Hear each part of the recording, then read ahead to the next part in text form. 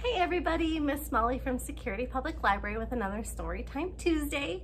Hope everybody's doing really great, enjoying the last bit of summer vacation. And I thought since it's the last week of summer vacation and it's so bright and sunny outside, I would share a book about bubbles since that's one of my favorite things to do outside. And instead of my super awesome, really funny jokes, I would show you a fun bubble thing that you can do at home.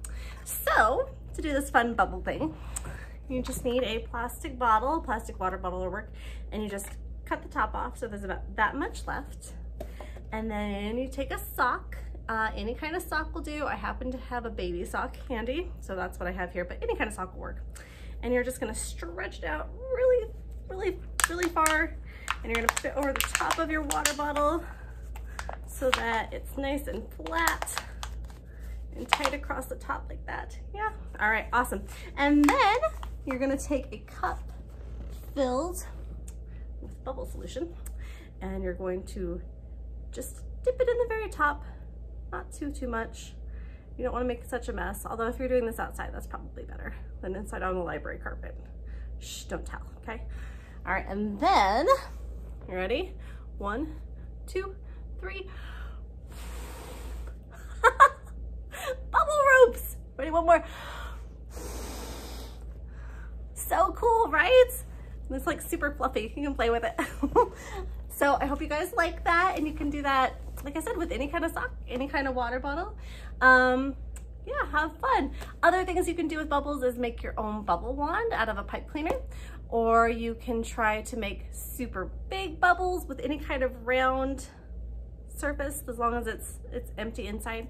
Um, lots of fun bubble things. I can find them all on Pinterest. Uh, but our bubble book today is called The Big Bad Bubble. Super scary, right? All right, first we have to wave and say hello. You ready? We wave and say hello, we wave and say hello. With our friends at story time, we wave and say hello. All right, Big Bad Bubble.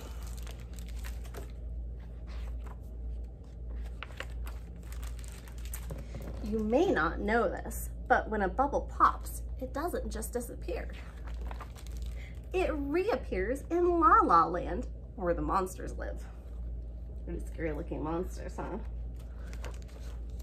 For some reason, all of the big scary monsters are afraid of bubbles. Ah, oh, Yerbert, what's the matter? Fruval, why are you running away?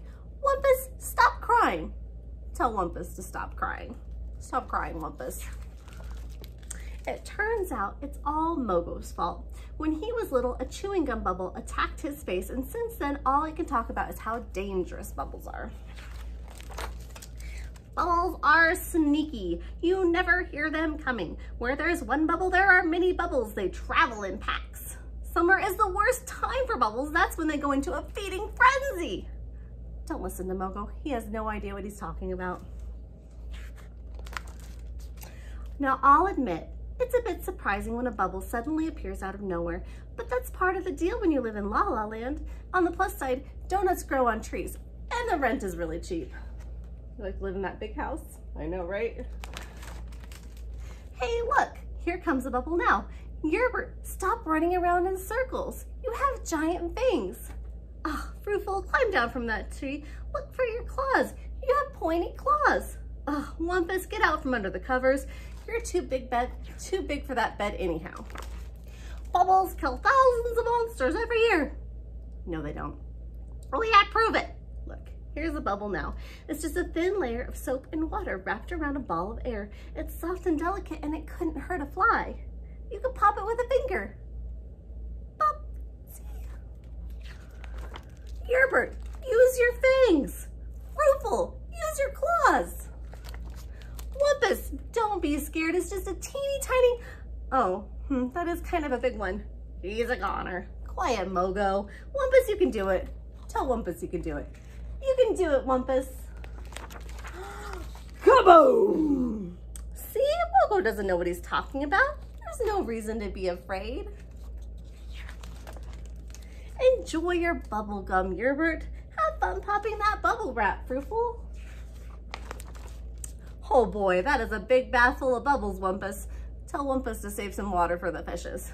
Save some water for the fishes, Wumpus. Splash! Fine, maybe bubbles aren't dangerous after all. Butterflies, on the other hand, The Truth About Butterflies by Mogo Pogo.